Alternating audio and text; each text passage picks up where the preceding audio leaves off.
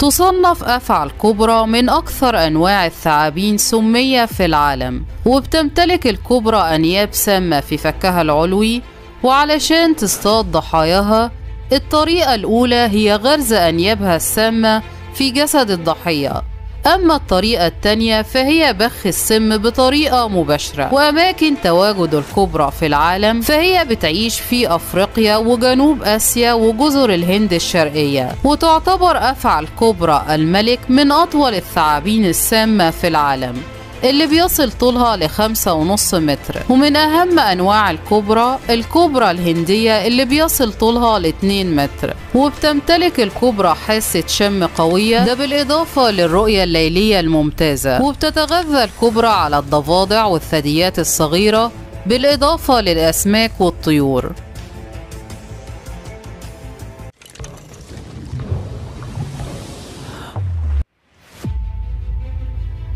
تصنف أفعى البايثون من الثعابين الغير سامة وبيتواجد منها أكثر من 40 نوع وجميعها بيتفاوت أحجامها حسب نوعها.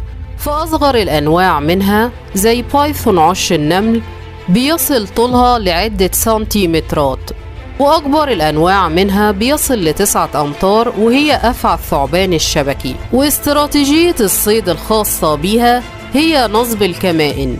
وبعد وقوع الفريسة تقوم بالالتفاف حولها بقوة وده لمنع وصول الدم إلى المخ بعكس ما يظن البعض بأنها بتكسر عظام الفريسة.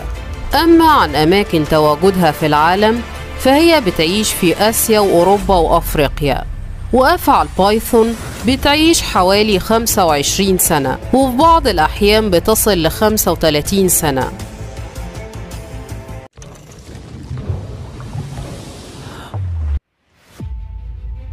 المامبا السوداء. تصنف من أطول أنواع الثعابين سمية في العالم وهو نوع من الثعابين شرس جدا في هجماته على البشر وده بسبب سماعها القوي وحجمها الكبير اللي بيصل ل 2.5 متر واللي ممكن يصل في بعض الأحيان ل 4.3 متر. ويصنف سم المامبا السوداء بأنه أكثر سمية من الكبرى ب 20 مرة. وسم المامبا السوداء عبارة عن سم عصبي بيصيب الضحية بالشلل التام وتوقف القلب والتنفس في دقائق معدودة. وعلشان المامبا تقضي على إنسان بالغ فهي بتحتاج لقطرتين من السم الموجود في فكها العلوي وبيحتوي فكها على أنياب بيصل طولها لستة ونص ملم وسرعة ثعبان المامبا بتتراوح من 10 ل 12 ميل في الساعة وبتعيش في المتوسط 20 سنة وممكن تصل ل 50 سنة.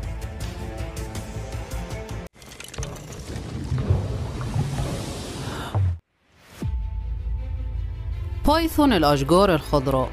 تعتبر من أخطر أنواع الثعابين العاصرة. وأطلق عليها الاسم ده لأنها بتقضي معظم وقتها على الشجر. وبيشاع عنها بعض المعلومات الخاطئة وهي إنها بتتغذى على الطيور. لكن تم عمل فحص لأكثر من ألف معدة خاصة للبايثون الخضراء ونتيجة الفحوص كانت عدم وجود بقايا للطيور داخلها. واستراتيجية الصيد الخاصة بها هي عض الفريسة أولاً. وبعدها بتلتف حواليها لحد ما توصل إنها تخنق الفريسة. وبيصل طول البايثون الخضراء البالغة من 120 ل 200 سنتيمتر وبتقدر تتعرف على ضحاياها عن طريق استشعار الحرارة المحيطة بجسدها وبالتالي بتحدد الفريسة. وأماكن تواجدها في العالم هي الغابات المطيرة في أستراليا وأندونيسيا وغينيا الجديدة.